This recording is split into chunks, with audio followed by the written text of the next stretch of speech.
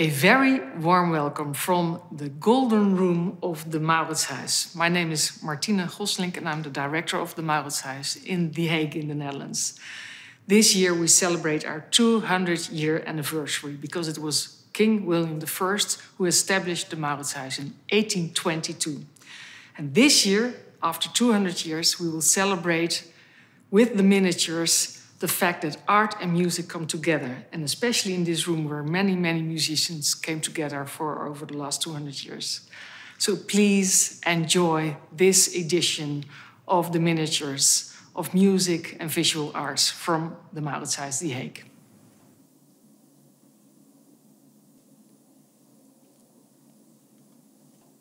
According to the Bible, King Saul was visited by evil spirits. Today, we might say he was suffering from depression.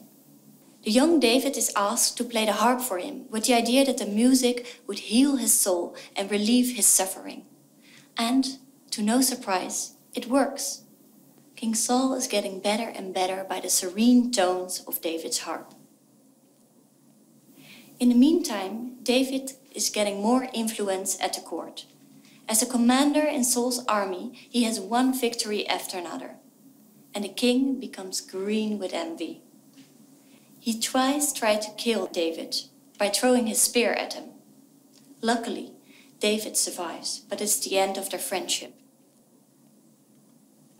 Rembrandt decided to depict a moment right before the action is going to take place. He builds up the tension for us, viewers, who know what's about to happen. King Saul dries his tears in one eye with the curtain but his other piercing eyes reveal to us that he is about to launch his attack.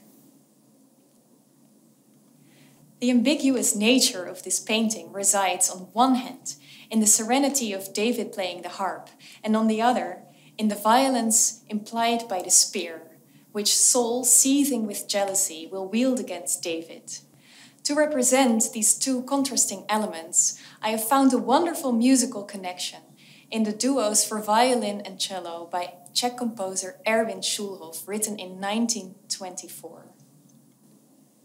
As in the painting, an enormous contrast in mood can be found between two movements of the duo. The andantino is soothing and bewitching. The violin and cello alternate a continuous line of plucked notes, evoking the sounds of a harp. Its tumultuous sequel, the Zingaresca movement, thunders along with percussive pulses and is a stark contrast to the Andantino. It matches the violent outcome of the Saul David story.